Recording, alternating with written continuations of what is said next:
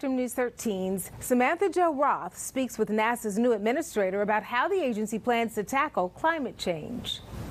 When you look out the window of a spacecraft, uh, it really uh, it gives you a different perspective. As it explores the heavens, NASA is now also going to take a closer look at what's happening here on Earth. It's a mission that's personal for NASA's new administrator, Bill Nelson, a former U.S. Senator and astronaut who flew on the Space Shuttle Columbia 35 years ago. I could see how we were messing up our climate.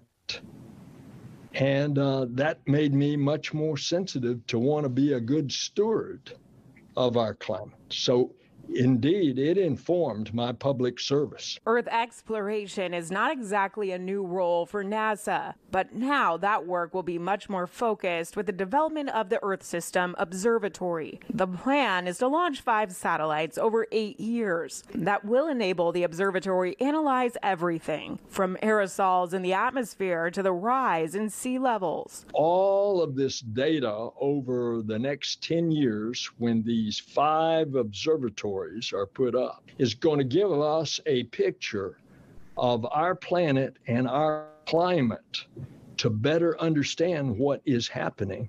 In your role as a Florida senator, you've seen the destruction that hurricanes can cause specifically on your home where you live.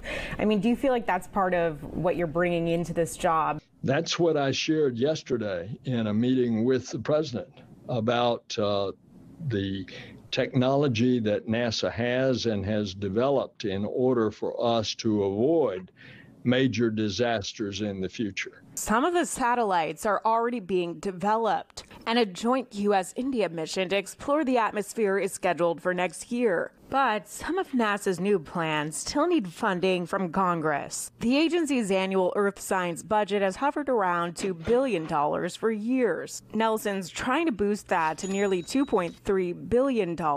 I'm going back to uh, the Senate and talk to one of the top uh, members of the Appropriations Committee, uh, and I'm going to beg for more money where NASA needs it. Nelson argues the future of Earth depends on it. In Washington, Samantha Jo Roth, Spectrum News.